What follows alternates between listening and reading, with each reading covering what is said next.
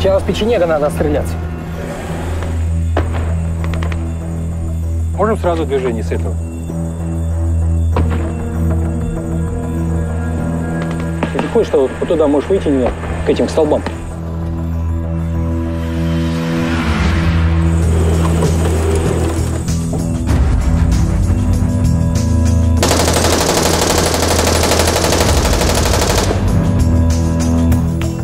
Все, стрельба закончена. Все.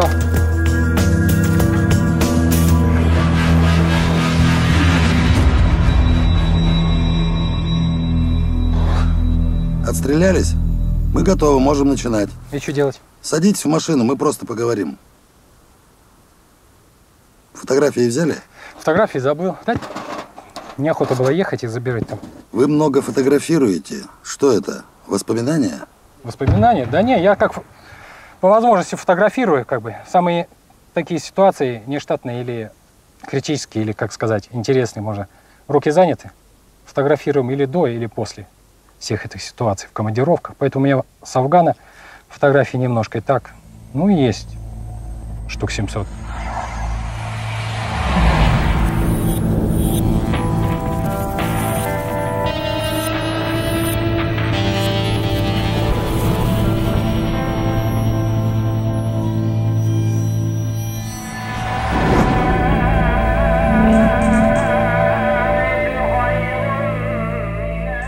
87 год для вас. Начало службы и сразу Афганистан. Какая у вас была подготовка на тот момент? Ну, подготовка у меня нормальная была. Просто я еще срочную, как бы, закончил, пошел в училище. Вертолетное. Ускоренный выпуск. Ну как ускоренный? Первый выпуск. Училище новое. Три года отучились и в Афган. Вот и все.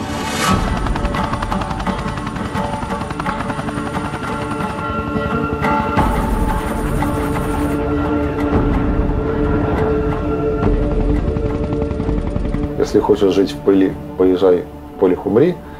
Если хочешь поле взад, поезжай в Джаллабад. А если ты попал в Газни, сам себя похорони.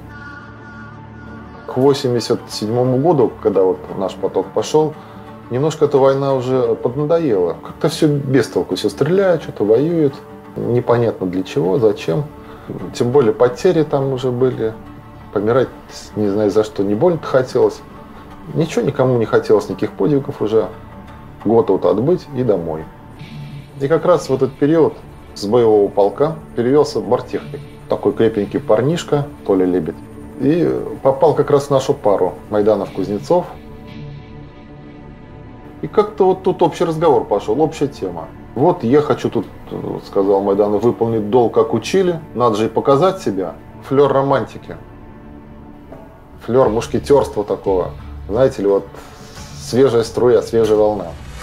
Что-то так мы там быстренько прославились. Буквально вот в первую неделю попался очень большой, мощный караван. Сразу там пошли звезды ордена, сразу трофеи. Вот. И Толя сказал, буду с вами только летать.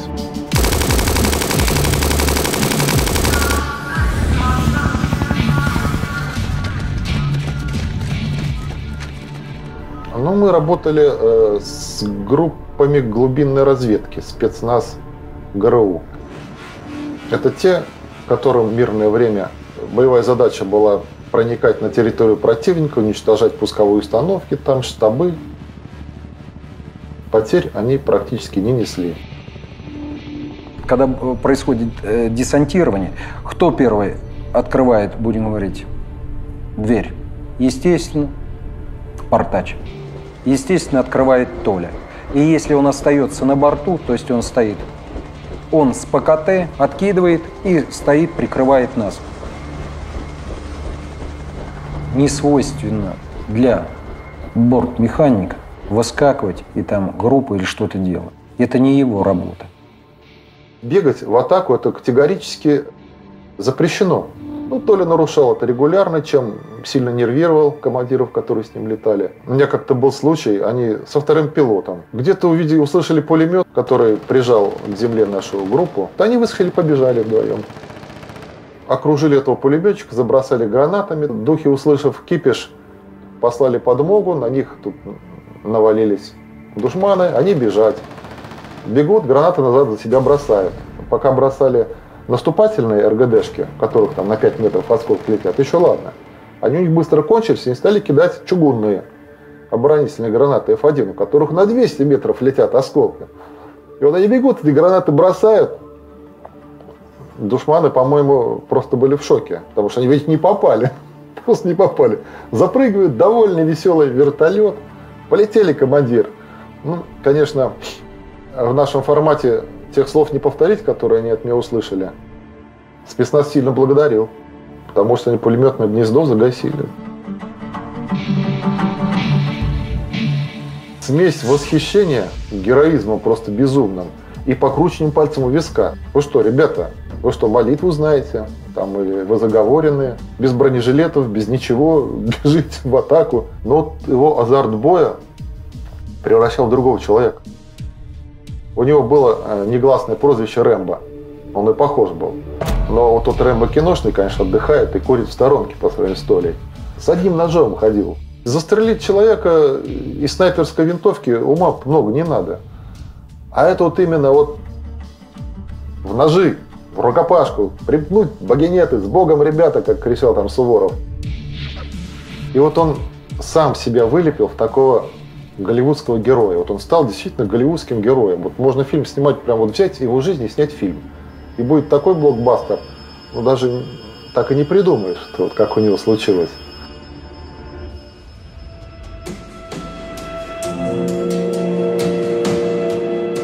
потери нашего контингента в Ташкенте, городе, были ну, чуть ли не сопоставимы с потерями в Афганистане. То есть об этом нигде не писалось, не говорилось. Тот Ташкент – это дружба народов, это уважение к афганцам. Там. На самом деле там много людей очень пропадало. И убивали, и с, без памяти от удара по голове там находили – раздетых там, ограбленных и так далее. Кто от Афгана возвращается с деньгами, там, с чеками, туда-сюда там. Ну вот с нашим одним служивцем такая история приключилась. По голове там раздели, ограбили. Ну, на опознание Толика отправили. Ну, опознал все. Ну, раз уж он здесь, домой что и хотел слетать заодно, пока он тут вырвался в Союз. Там билет покупал, познакомился с девушкой, с билетершей, по-моему. Это был ресторан города а аэропорт города Ташкента. Он обедал. К нам подошла официантка. Мы сидели, ну, молодые девушки, сидели, обедали.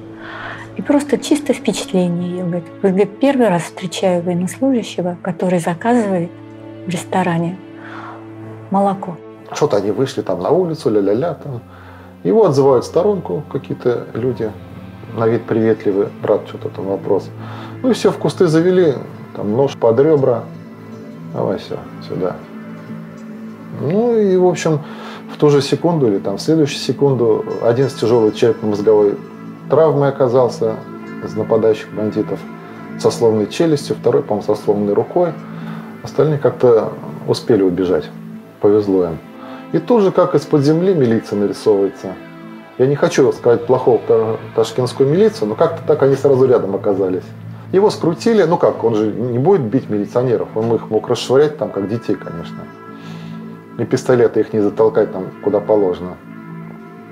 Все, в клетку посадили, приходит тут же ему уже с готовым обвинителем. Вот вам 7 лет корячится за нанесение тяжких телесных. Есть свидетельские показания, что вы напали на людей на почве там какой-то ненависти, сумасшествия, вот, избили, вот уже сняли побои и так далее. Один человек в тяжелом состоянии лежит. 7 лет. Ну и все, что делать, куда деваться. И тут мужчина появляется. Он какой-то КГБшник или милиционер, там серьезный чин в Ташкенте был. Его выпускают, оказывает, оказывается отец этой девушки. Женись.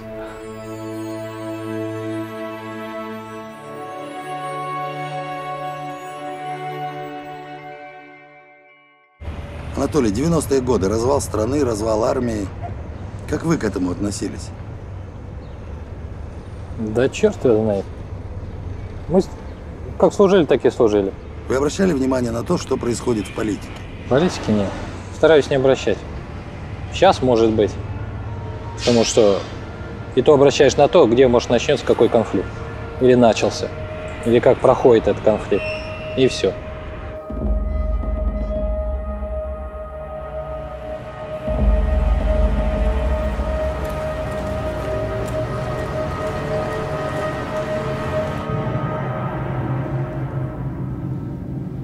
Это было очень трудное время. К тому времени у него уже было четыре боевых ордена за две командировки в Афган. И он попадает под сокращение. Вот это время, конечно, было очень трудно в материальном плане, потому что с работой практически невозможно было устроиться, и надо было платить просто за комнату. Он нашел контакт с одним из своих однополчан, которым он служил в вертолетном полку и был во второй командировке в Афгане. И пошел, э, ему предложили работу в фонде ветеранов Афганистана.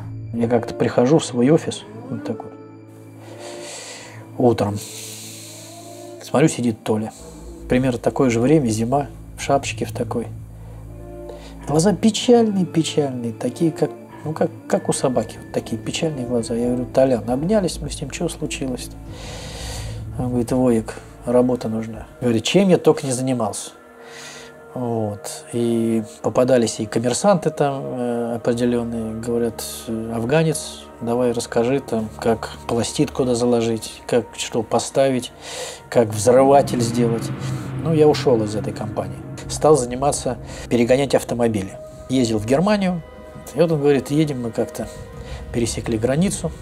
Что-то у меня с машиной случилось. Я открыл капот, начал там что-то там ремонтировать с отверткой. И тут смотрю, ствол такой мне в голову. Значит, так, говорит, отдавай ключи и шуруй отсюда. Вот. Чтобы мы тебя больше не видели.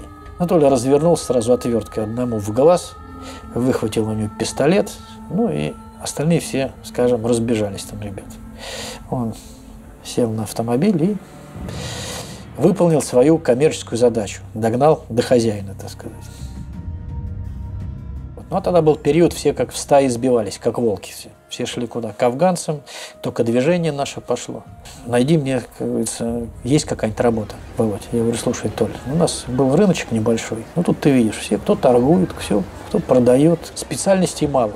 Водитель, ну и охранник. Будешь моим, давай охранник. У нас деньги есть, так сказать, с, с рынка получаем. Он работал охранником, я водителем. Мы, собственно, с ним были одним экипажем. В начале работы все казалось радужным. Но по мере того, как он э, окунался в работу и в общение с людьми, он, я так понимаю, что начал разочаровываться. Идем мы как-то по рынку афганец в Кузьминках. Смотрю, его за шиворот милиционер хватает. И говорит, так, парень, иди сюда, твои документы там. Говорит, да вот, пожалуйста. Значит, имей в виду, я, значит, здесь главный, чтобы я тебя тут не видел, значит. Он говорит, да что я тут сделал-то? Я же, извините, я же это самый. Он, ты понял, что я сказал? Ну, у Толи все кипит, еще бы немножко этого сержанта бы офигаченный. Он не привык к такому обращению. Он за родину воевал, он все время презирал хамство, грубость там, э, лизоблюдство, э, цинизм. А тут он с этим встречается. Почему он, он кавалер трех орденов Красной Звезды, к нему должны так обращаться? Вот вид у него такой не понравился. Он, я так понимаю, что не нашел того, чего искал, разочаровался и решил просто сменить род деятельности. Тем более, что появился повод, э, очень близкий ему, это война. Все-таки Югославия была на тот период как бы братской страной. Но он говорил честно, что еду за югославов.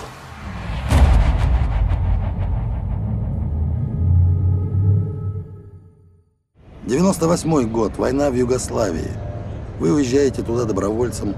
Почему? И то же самое примерно, как вот вот у нас на улице где-нибудь, да, в городе или еще где-то. Идешь мимо, кого-то забивают.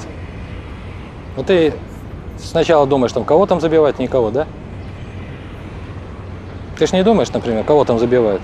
Не, кто-то может пройти, конечно, придумать себе 10 причин. Правильно? А если прошел, считай, что все. А я вот не могу.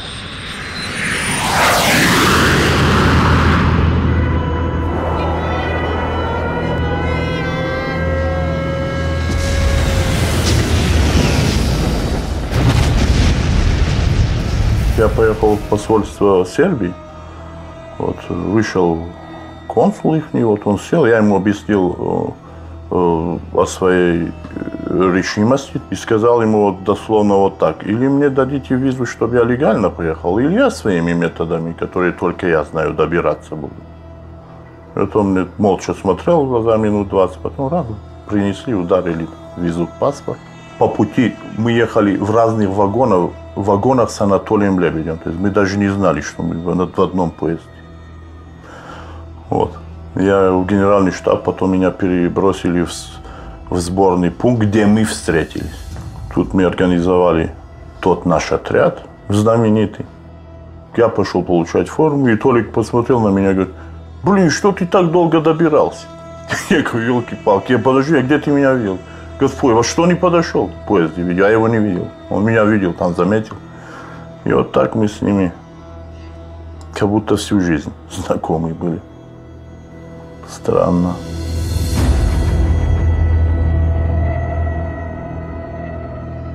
В 99 году я впервые встретился с темой «Русские добровольцы».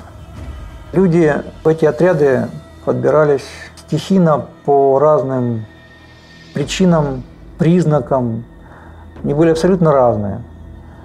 От ярко выраженных идеалистов, мечтающих о мире добра и справедливости, людей, прошедших Афганистан и не знавшие себе иного применения, как воевать.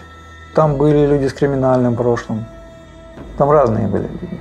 Но что творилось в годы э, войны на территории Сербской Краины и Республики Сербской, эта тема тоже отдельная. К примеру, есть такой город, он под международным протекторатом Брычка.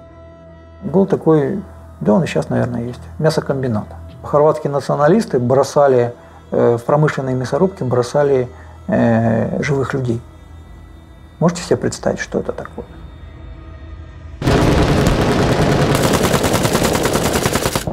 Любимая поговорка сербов была «Нас с Россией 200 миллионов». А потом начались бомбежки НАТО. Россия выразила свой протест. Примаков полетел через Атлантику. Но ситуация изменилась. Примаков развернулся над океаном и вернулся обратно. И сербы сказали, нас Россия продала.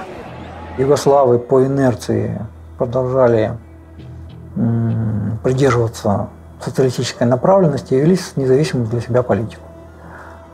Американцам и НАТО требовалась болевая точка на Балканах, точка конфликта, благодаря которому по теории организованного хаоса они могли диктовать условия всей Европе.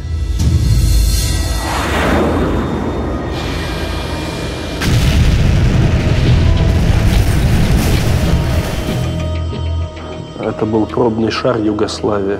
Как лидер движения неприсоединения, на ней обкатывались технологии э, уничтожение государства, если оно не угодно из-за океана. Мы понимали, что э, Югославия – это вчера, Чечня – это сегодня, один Господь ведает, что будет завтра. Тогда это действительно было под вопросом, сохраним ли мы страну. И для меня, как для православного священника, совершенно понятно было, что следующим будет Уфа или Казань, если здесь не остановим. Мы были чем-то как санитарная рота. Закрывали дыр, дырки в границе. Как только где-то что-то, нас посылают туда, и все, через полчаса все нормально. Толик мог заметить вещи, которые являются необыкновенными в определенной ситуации. Мы в лесу остановились во время задания. Минут через 15 позывает меня Альберт, говорит, посмотри вот туда, там что-то интересное. Вот я посмотрел, перед нами стоящая кромка леса была зеленой, а одно дерево было желтым. Кто-то срезал что-то, замаскировал, листья немножко засохли. Вот я пригляделся и увидел там две-три черные голуби внизу. Взял снайперскую винтовку и почистил все это. Нашел же Толик. Поэтому большинство ребят, которые были с Толей, до сих пор живы. У меня была возможность наблюдать за ним. Я видел, до какой степени он человек мира. Мало кто знает, каким он чувствительным.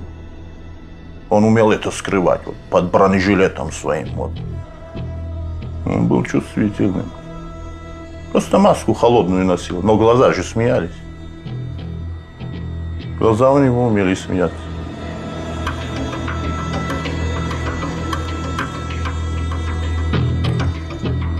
Что было потом, после Югославии? Ну, а потом что там? Потом Дагестан начался. Чечня, 99 опять. Вернулись все-таки в армию. Почему? Тогда была всеобщая мобилизация у чеченцев, у боевиков. Если они уже как бы вообще не боятся. Метро взрывают, кинотеатры взрывают, правильно, электрички взрывают. На какую должность пошли? Командиром разведгруппы? Ну, можно сказать, как командир. Старший головного дозора, зам командира группы, вот так.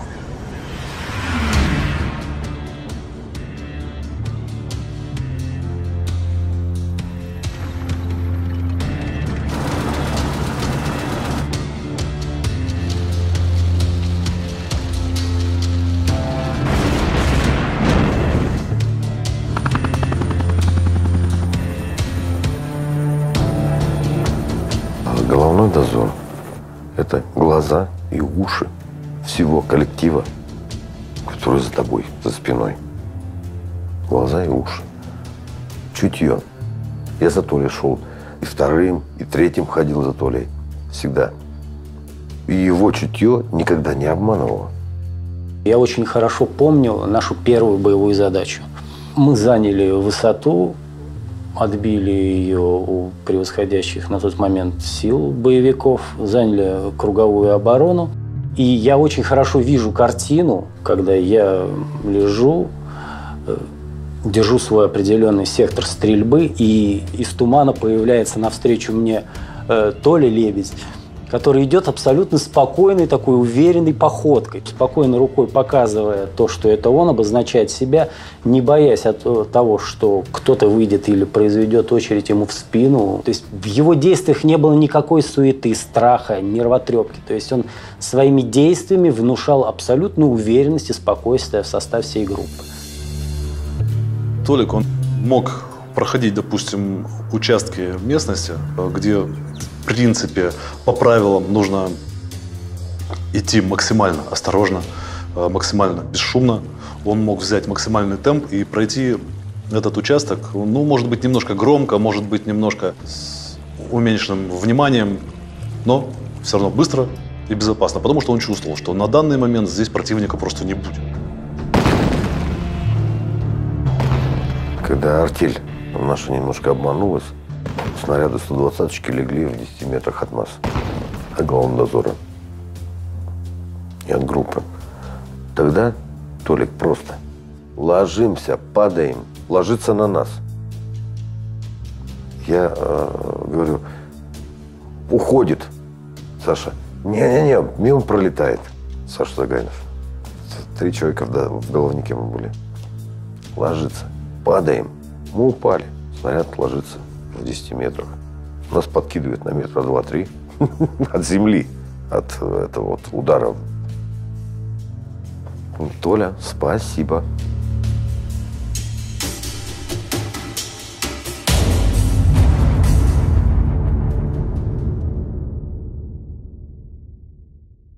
Трагедия псковских десантников, шестая рота. Расскажите об их гибели. Ну, на самом деле, когда идет большая группа боевиков, которая около двух тысяч, как бы они выходили с Аргунского ущелья, им надо было на другую сторону гор выйти, чтобы раствориться в деревнях. Там и помощь нужна им, и медикаменты, и питание, и вооружение. И когда вот внизу, так сказать, основных гор, есть место, где пройти, стоит рота одна. Вот, что делать?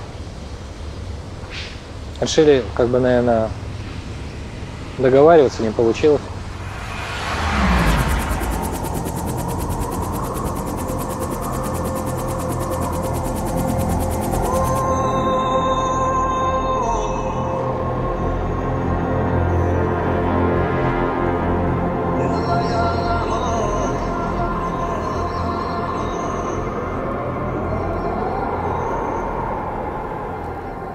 Наша группа выводила а, псковичей, батальон, выводила на высоту 14-10.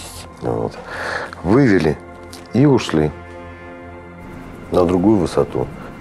Был снегопад большой, действительно. А, Вертушки не могли действительно тоже подойти. И после уже суток, когда шел бой, мы ничем не могли э, помочь с этих высоток шестой роте. Ничем совершенно. И по времени, и по количеству. Спустя уже несколько часов поступило распоряжение изменить нам нашу боевую задачу и срочно экипироваться для возможного оказания помощи данной роте. Мы с Толей Лебедем шли впереди первые в головном дозоре, и, собственно говоря, первые э, видели ту картину, которая открылась нашему взгляду.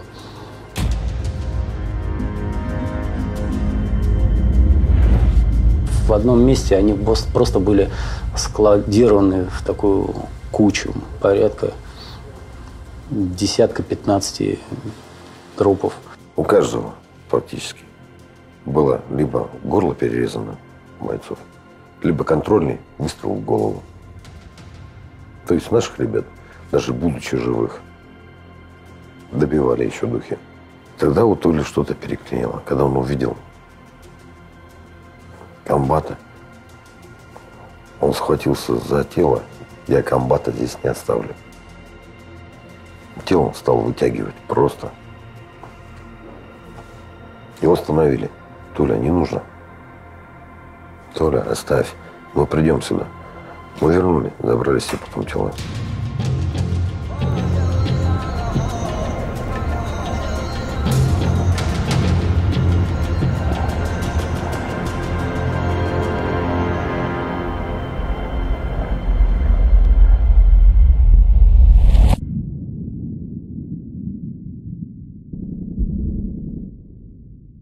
Кто для вас противник? Есть личное отношение к врагу? Личного? Не, ничего личного. Там все равно, кто он там. Афганец, иранец, американец, может, русский перебежчик. Все равно. И сейчас так же самое. Бандит взял оружие, все. Можно и не спрашивать, кто такой.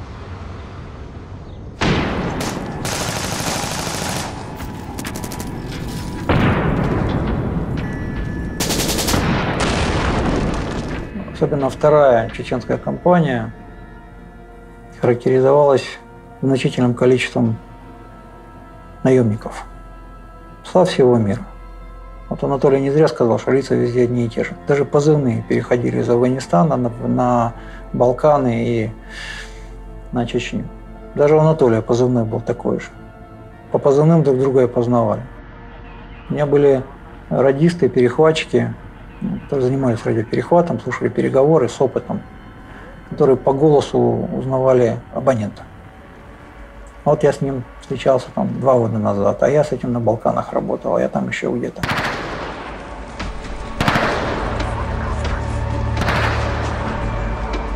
Группа «Лебедя» в бою уничтожала чернокожих и граждан Турции с документами. Очень много арабов. Значительное количество боевиков УНАУНСО с Украины. Что им там делать? Были русские, принявшие ислам, его радикальную ветвь. Кстати, отличались крайней жестокостью. К сожалению, на Кавказе выросло целое поколение, которое русского языка не знает, но прекрасно обращается с автоматом и взрывчатыми веществами. К сожалению. Когда с ними общаешься, удивляешься, почему они стали на этот путь. То есть не совсем они конченые люди. Как-то Толик даже сам сказал об этом, что, ну, слушай, хороший, вот, мог же быть великолепным там учителем. Я помню вот один из эпизодов, когда э, он проявлял э, величайшее милосердие к одному из э, ну, захваченных, так будем говорить, плен э, бандитов. И когда ему задали вопрос, Толик, он же там вот такой-то, он говорил, нет, нет, он враг, который у нас в плену. Отнестись к нему так, как ты хотел бы, чтобы тебе отнеслись, если ты, не дай бог, попадешь завтра в плен к его подельникам.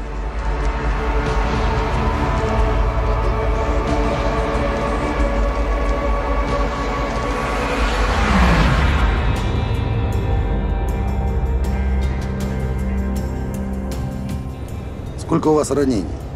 Ну, за Чечню двое. Два ранения. А вообще? А вообще, ну, уже за пять. Тяжелая? Да не, тяжелая только, я считаю, что как бы, который вот у Бурденко лежал, в 2003 это все. Нога? Да.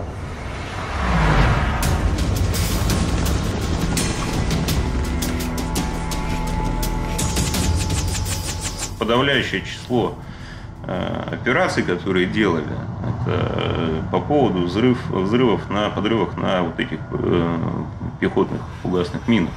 Очень много ампутаций, порядка ну, в день, наверное, 5-6, а то и 12-20 вот в эти годы.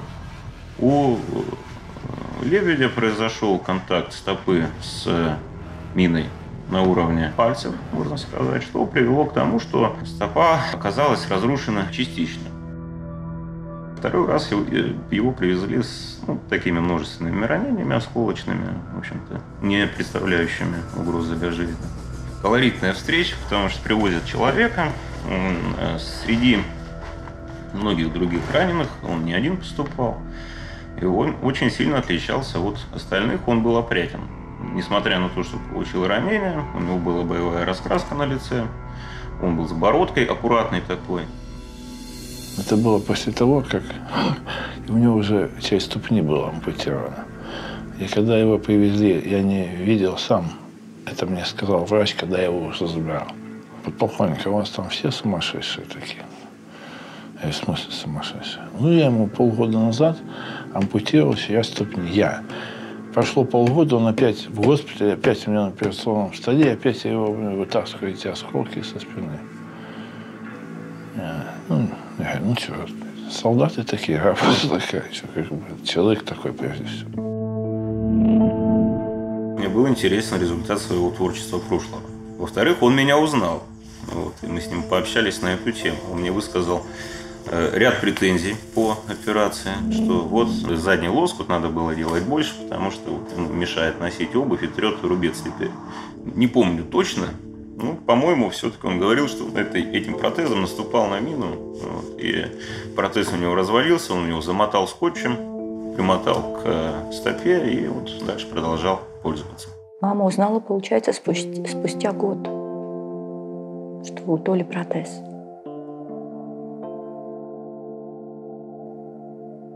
Он просто вот ну, маму встретили, привели, посадили.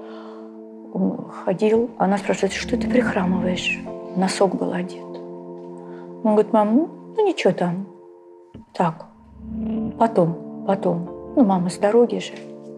А когда вот уже вечером снимал себя, брюки спортивные, мама увидела.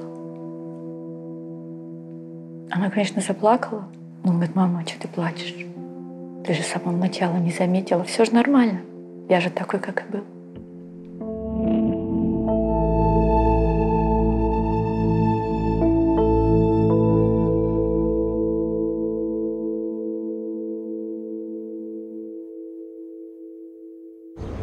Героя России вы за что получили?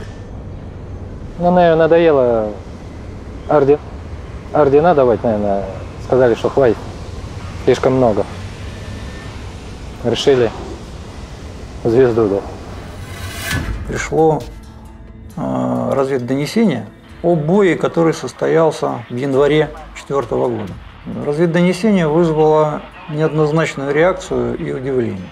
Меня поразило несоответствие звания и возраста офицера Мы были практически ровесники, но он был старшим лейтенантом.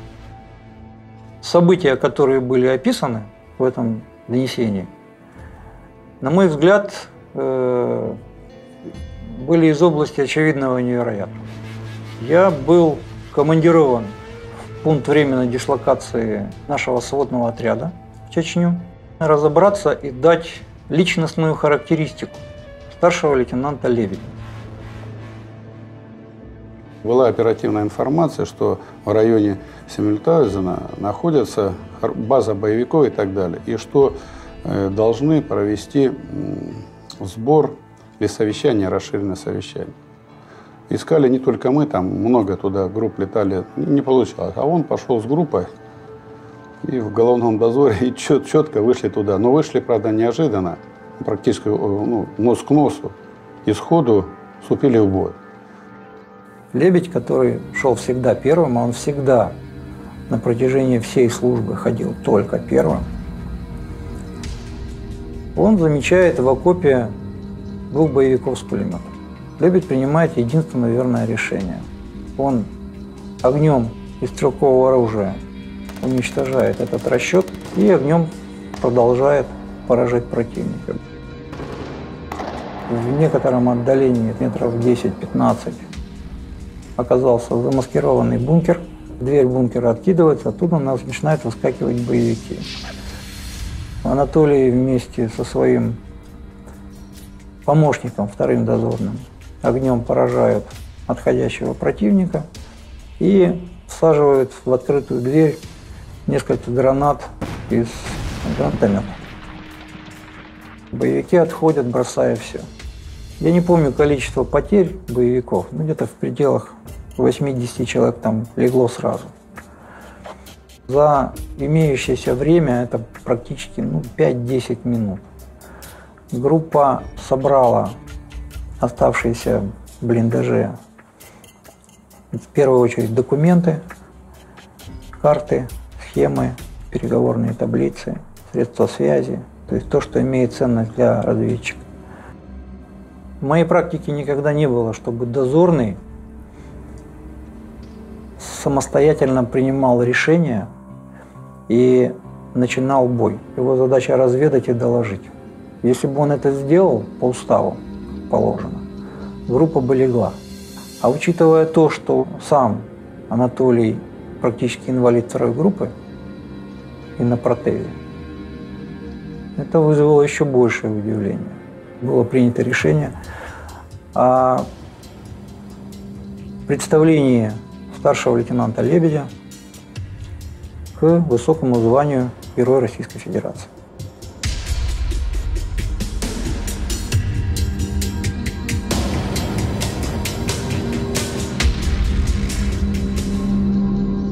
А вот начальство, оно всегда право. Ну, пытаемся иногда как бы доказать, убедить. В общем-то, бывает, бывают ситуации разные. Находим компромисс, там, решение более-менее нормально.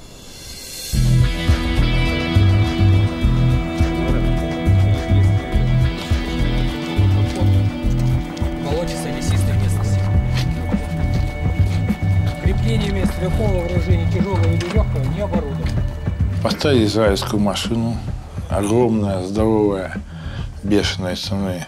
Дмитрий Анатольевич Медведев говорит, вот это, вот это, вот это, вот это, вот это. Да, Толик, он его знал. Говорит, Нет, товарищ министр, это говно.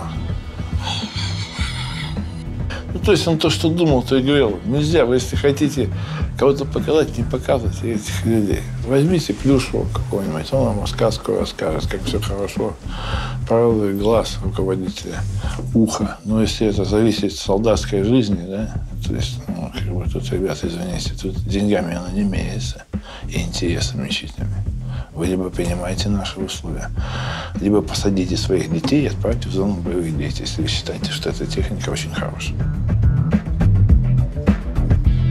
Когда э, ему вручили звезду героя, и э, ему вручал Владимир Владимирович. И сказал, что это самое. Ну, спросил, как там дела. Ну, а он квартиры не имел. Все должна быть квартира. Понимаете, президент, я понимаю, что не может. Он поставил задачу, но она там затянулась. При другой встрече в Кремле он так и сказал, говорит, «А что, на новоселье не могу пригласить вас, господин президент, потому что ваши слова хуже относятся чем-то к любому там прапорщику и так далее. Ну, такие выражения. И все, не стесняет. Всем потно стало, мне лично потно стало, когда он верховного главного командующего так сказал. Ну, ему прощалось это. Абсолютно никогда не стеснялся авторитетов, с кем бы он ни говорил. Я лично присутствовал, как он разговаривал там с министром обороны, с президентом страны. Что он думал, он то и говорил. Это дорогого стоило. Когда награды вручали, он мог сказать, «Вот за свою тупость вручаете мне орден такой, хотя развалили армию, а теперь это так, так позволяете кому-то что угодно. Позволяете той Саакашвили так делать, это что-то. Он так и говорил, понимаете.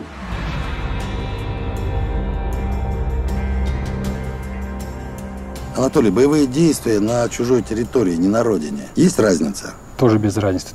Главная задача, если начнешь о глобальном думать, то забудешь про тех, кто, с кем выполняешь задачу. 10-15 человек, правильно? Вот это и есть как бы родина.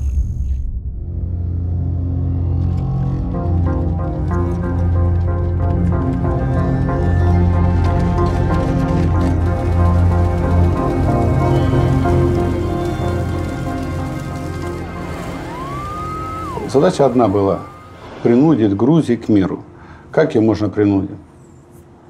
Чтобы руководство дало команду и больше она так не делает.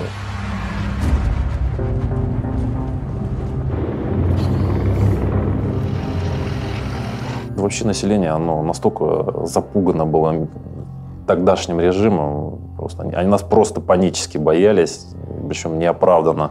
Мы становились у магазина, чтобы купить хлеба. Одному из своих замов говорю, купи хлеба на всех. Вот. Он заходит, что-то там долго возится, ну, выносит хлеб. Я говорю, что так долго? Да ужас какой-то. Первое, что сказала продавщица, меня увидев, не убивайте меня. Я говорю, никто вас убивать не будет, хлеб продать. Так все забирайте. Да не надо так, за деньги отдайте. Вот за деньги у них приобрели, а так люди, конечно, я считаю, что нормально к нам относились. Информационная война была не в нашу сторону, однозначно не в нашу сторону. В районе населенного пункта Поти случился боевой эпизод. Разведданных не было никаких, есть там противник, нет. И где-то казалось, что уже наоборот, больше к развязке дело шло. Но там оказалось вот эти 22 грузинских спецназовца. И получилось так, что техника остановилась с людьми на броне на небольшой площади.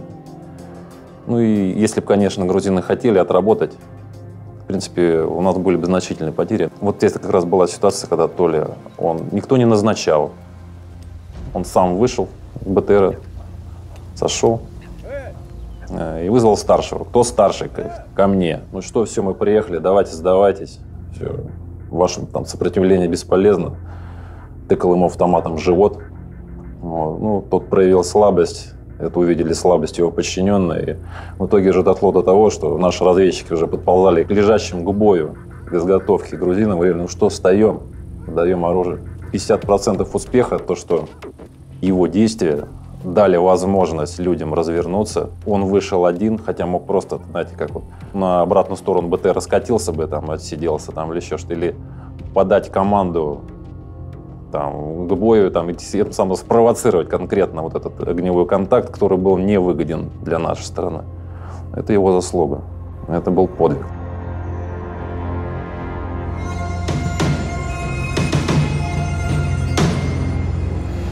Десантник, это, конечно, как бы хорошо, но это не обязательно голубой берет и тельняшка. Надо еще, как бы, чтобы в голове что-то было. Вот после всех событий, когда он опять внимание командования обратило на его действия, он был награжден вторым Георгиевским крестом. В верхах состоялось решение о выдвижении Анатолия на высшую должность. Ему в личной беседе с начальником генерального штаба была предложена должность начальника военной базы на территории Южной Осетии. Чтобы было понятно, командир базы – это генеральская должность.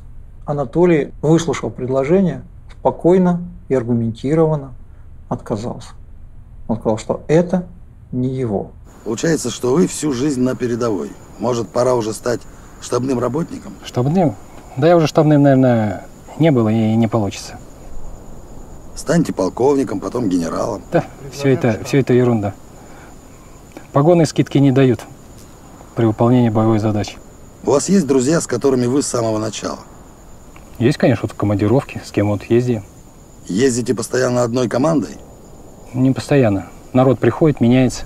Некоторые уходят выше, потом еще некоторые ранее получают, некоторые еще хуже, в общем-то.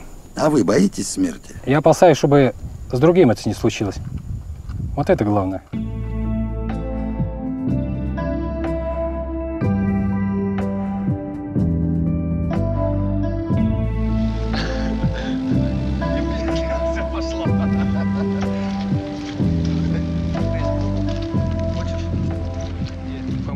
Толя скуп на друзей, у него друзей нет.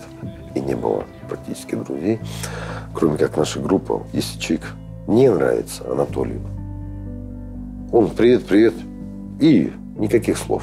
Он человека видит. И не просто видит, он пронизывает, как сканер какой-то. Понимаете? Он видит, вот этот человек, это человек. А вот это, ну, скажем так, отстой.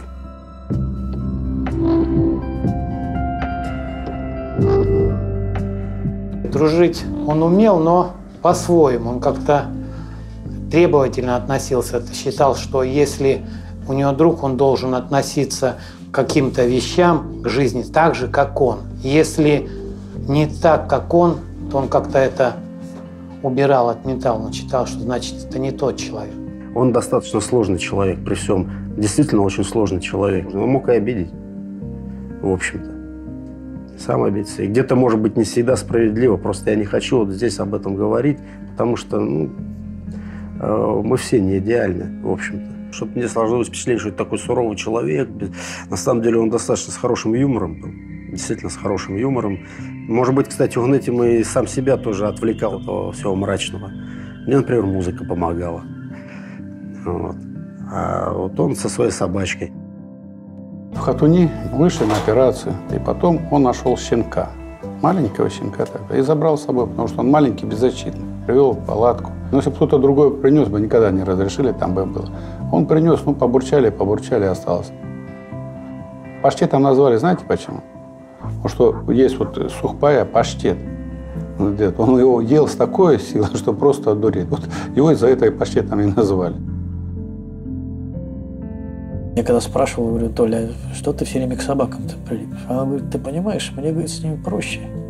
Я вот посмотрю им в глаза, вот, и я знаю, что меня ни, никогда мой друг меня не предаст.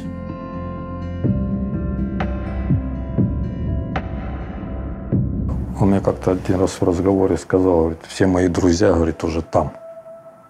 То есть для себя он решил, что он как-то задержался здесь.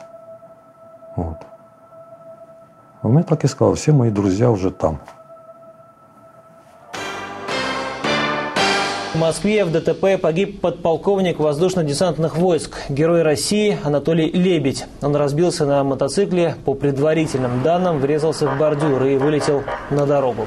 От полученных травм скончался на месте. Полицейский берет телефон вот на дороге, который выпал вот у Анатолия во время падения с мотоцикла, и открывает, вот там брат убит. Брат звонит, попадает мне, брат погиб. Мы много раз вот анализировали, думали, и очень первоначально очень сильно как-то были взбудоражены все, думали, из-за чего вот разбился на мотоцикле. Может быть, там есть след с одной стороны, там, афганский, чеченский и так далее, потому что его действительно, его и враги хорошо знали. Есть какие-то там нюансы, которые следствие не раскрыло. Есть. Буквально через неделю на моем мотоцикле кто-то открутил передние тормоза. А для спортбайка это смерть. Я уже начал это все увязывать. Может быть, кто-то решил таким образом устранять разведчиков спецназа ВДВ. Но потом экспертиза показала, что причина была другая. Человек готовился для продолжения службы. У него была проблема с сердцем. И он скрыл от всех, узнали о том, что он сделал операцию, только когда он погиб.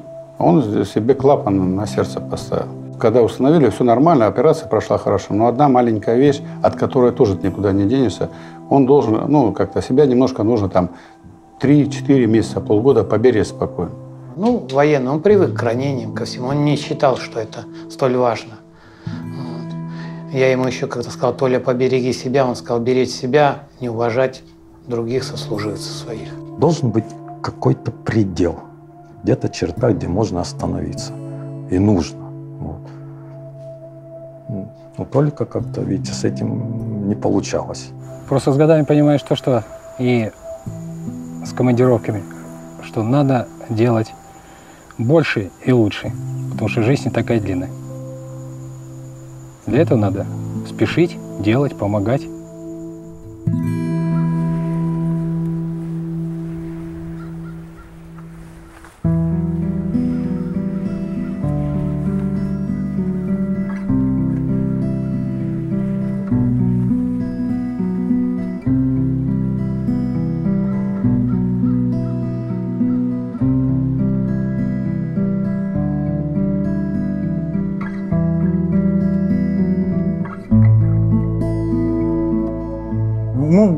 Разговаривали мы, как обычно, за кусочками жареного мяса. Они любили, когда я мясо жарил, а я обычно вокруг камня разводил огонь и на горячем камне куски мяса тут жарил. И вот так мы разговаривали, и он как-то занесся куда-то. Я заметил, о чем ты думаешь? Вот. И вот он тогда мне рассказал, что у него мечта купить Харлей.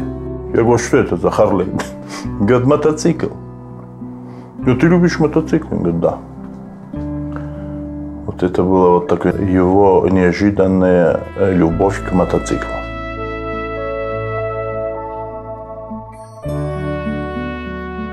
Что он в них любил говорить свободу. Свободу.